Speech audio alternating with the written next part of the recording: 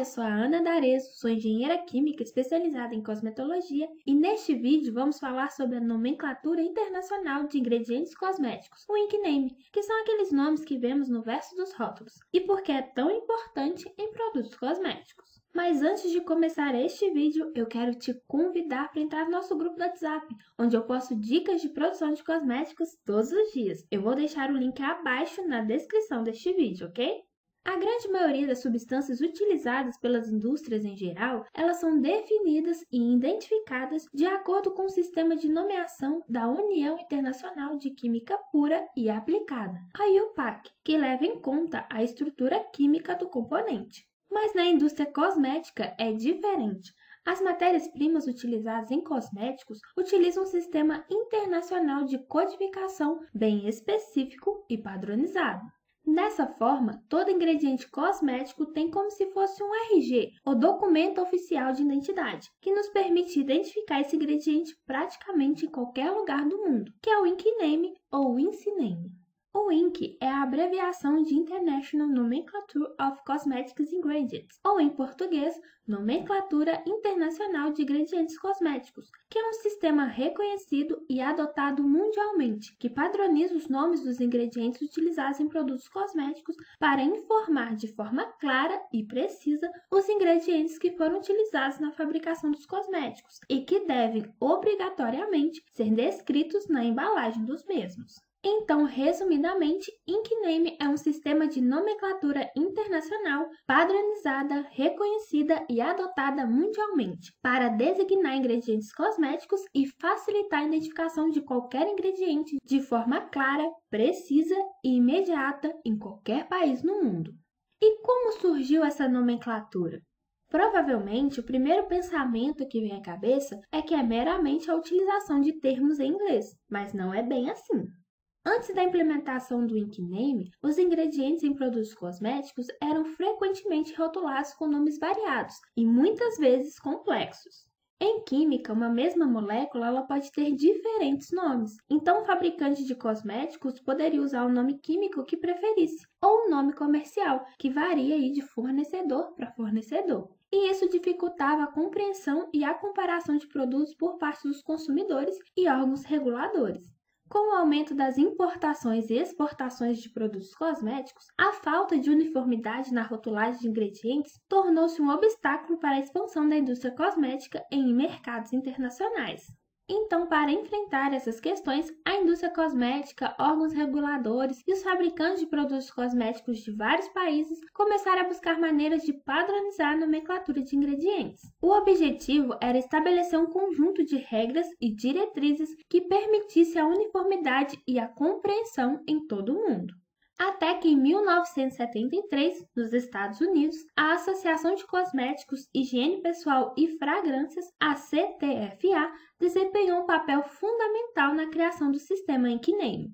Esse sistema baseia-se em convenções linguísticas, que tornam os nomes dos ingredientes mais acessíveis e compreensíveis para todas as partes interessadas, até mesmo para aqueles que não possuem conhecimento técnico. Dessa forma, o INCNAME foi projetado para ser neutro em relação ao idioma, o que significa que os nomes dos ingredientes são consistentes independentemente do país em que o produto é fabricado ou vendido, promovendo assim a transparência e a clareza na indústria de produtos de beleza e cuidados pessoais. Por exemplo, dentre as regras instituídas para definir os ingredientes de um produto cosmético, ficou estabelecido que extratos vegetais e produtos naturais são referidos pelos nomes latinos da planta. Por exemplo, o óleo de coco é conhecido como Cocos nucifera oil. Já moléculas, substâncias sintéticas e nomes comuns são fornecidos em inglês. Por exemplo, o EDTA de sódico, ele refere-se ao disódium EDTA, e a amida 90 é escrito como cocamidideia. Em 2007, a Associação de Cosméticos, Higiene Pessoal e Fragrâncias tornou-se o Conselho de Produtos de Cuidado Pessoal, e esta associação ainda supervisiona e publica a Nomenclatura Internacional de Produtos Cosméticos, que é desenvolvida pelo Comitê Internacional de Nomenclatura e publica no Dicionário e Manual Internacional de Ingredientes Cosméticos, disponível em versão impressa e online. E desde a sua criação, o sistema Inkname foi adotado pelo setor cosméticos de muitos países e regiões ao redor do mundo, como meio padrão de rotular ingredientes em produtos de beleza e cuidados pessoais, ajudando aí a promover a harmonização da rotulagem em nível global. E em 2023, ano que este vídeo foi gravado, o Inkname comemora seu aniversário de 50 anos. Este marco reconhece a longa história de esforços na criação de uma nomenclatura padronizada para ingredientes cosméticos, tornando-se uma fonte confiável e que ajuda a garantir segurança, transparência e integridade científica na indústria de cosméticos e produtos de cuidados pessoais. Está gostando do vídeo? Se estiver gostando, não deixe de entrar no nosso grupo do WhatsApp, onde eu posto dicas de produção de cosméticos todos os dias. O link está abaixo na descrição deste vídeo, ok? Então vamos continuar. Mas por que é tão importante utilizar o Inkname em produtos cosméticos? A nomenclatura de ingredientes cosméticos é muito mais do que apenas dar nome aos componentes de um produto. Ela envolve a padronização e orientação desses nomes para garantir a consistência e a transparência em toda a indústria de cosméticos. E esse sistema de padronização é tão importante por várias razões. Olha só. Por exemplo, para órgãos reguladores e de segurança, a nomenclatura de ingredientes é essencial para facilitar e agilizar a identificação e controle da composição dos produtos cosméticos e também fazer cumprir as regulamentações e normas de segurança, evitando aí o uso de substâncias nocivas e garantindo que os produtos estejam em conformidade com as normas de segurança impostas pelos órgãos reguladores. Agências como a FDA nos Estados Unidos, a Anvisa no Brasil e a Agência Europeia de Produtos Químicos na União Europeia estabelecem diretrizes rigorosas para a rotulagem de ingredientes em produtos cosméticos, garantindo que os fabricantes cumpram as normas de segurança e qualidade. E isso é essencial para proteger a saúde dos consumidores, porque garante que os produtos atendam a padrões específicos antes de serem lançados no mercado. O Inkname também é muito importante para a comunidade científica, porque ela assegura a uniformidade, entendimento e precisão da informação científica, além de garantir a rapidez na atualização do conhecimento técnico-científico, sem perda de informações essenciais além de estimular a pesquisa e o desenvolvimento de produtos mais seguros e eficazes, permitindo que a indústria de cosméticos evolua continuamente.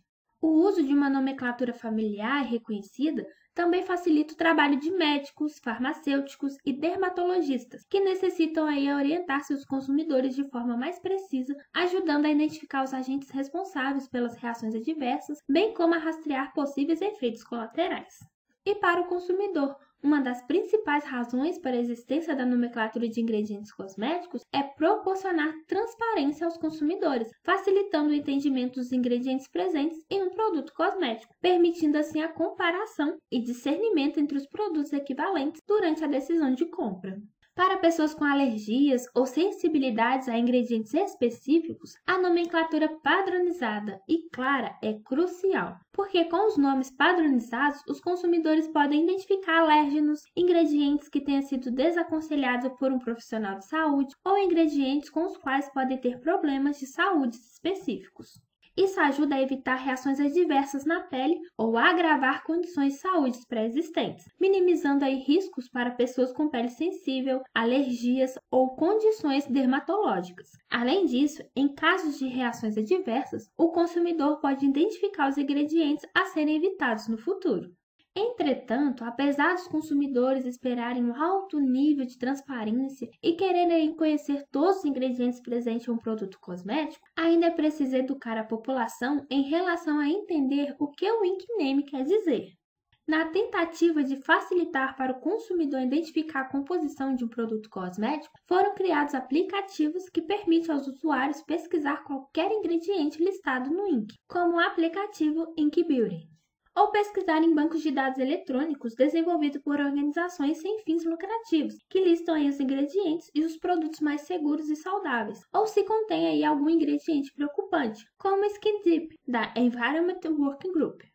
Além disso, após a manifestação de algumas organizações e de uma consultoria pública para que a sociedade opinasse sobre a proposta de atualização dos requisitos técnicos para rotulagem de produtos de higiene pessoal, cosméticos e perfumes, foi aprovado no Brasil uma resolução que obriga a descrever o nome dos ingredientes cosméticos em português. A versão mais recente neste momento é a RDC 773 de 2023. Então a nomenclatura INC continua obrigatória, mas agora também tem que colocar em português. Também é essencial para uma comunicação eficaz dentro da indústria de cosméticos, porque a padronização dos nomes dos ingredientes ajuda os profissionais da área a discutir formulações, trocar informações e garantir que as expectativas do cliente sejam atendidas de maneira consistente. Além disso, o ink name é muito importante para o formulador, porque a partir do entendimento desses ingredientes, é possível, em alguns casos, saber se a matéria-prima é espessante ou emulsionante, por exemplo, somente pelo ink name. Além de possibilitar copiar um produto concorrente que foi lançado ou fazer um produto inspirado nesse produto pela descrição da composição na embalagem. Então, isso é muito comum na indústria cosmética. E eu não sei se você já percebeu, mas o ink normalmente começa com a água. Isso acontece porque, na maioria das vezes, os ingredientes são listados em ordem decrescente de quantidade, ou seja, da maior concentração para a menor concentração. Então, como geralmente a água é o ingrediente que usamos em maior quantidade em uma formulação cosmética, é comum que esteja descrito no começo da lista. Depois é descrito os demais ingredientes usados até chegar no que foi usado em menor concentração, que geralmente é a fragrância e o conservante. Mas essa não é uma regra geral usada por toda a indústria não, tá? Produtos europeus e americanos descrevem os ingredientes na ordem da maior concentração utilizada para a menor. No Brasil, por exemplo, não é obrigatório colocar os ingredientes em ordem decrescente de quantidade, mas algumas empresas seguem essa ordem, principalmente as que exportam. Mas uma grande maioria embaralha a ordem dos ingredientes, até mesmo para despistar um pouco aí a concorrência. A nomenclatura internacional de ingredientes cosméticos, ela também desempenha um papel importante para a inovação e desenvolvimento de novos produtos cosméticos. Com nomes padronizados e bem definidos, os fabricantes podem comunicar de forma eficaz os avanços tecnológicos e inovações em suas fórmulas. Isso estimula a pesquisa e o desenvolvimento de produtos mais seguros e eficazes, permitindo que a indústria de cosméticos evolua continuamente. E por fim, com o comércio internacional de produtos cosméticos, uma nomenclatura padronizada é essencial, porque, como os nomes dos ingredientes são consistentes em diferentes regiões do mundo, isso facilita a exportação e importação de produtos, ajuda na conformidade com as regulamentações de segurança e rotulagem em diversos países. Então é isso, agora você sabe um pouco mais sobre a nomenclatura internacional de ingredientes cosméticos e como ela é uma parte essencial da indústria cosmética, desempenhando um papel fundamental na proteção dos interesses dos consumidores, na garantia de qualidade, segurança e transparência na indústria de produtos de beleza e cuidados pessoais. Espero que tenha gostado. Não deixe de curtir e de se inscrever no canal. E não se esqueça de entrar no nosso grupo do WhatsApp de dicas de produção de cosméticos. O link está na descrição deste vídeo. Um abraço e até o próximo vídeo.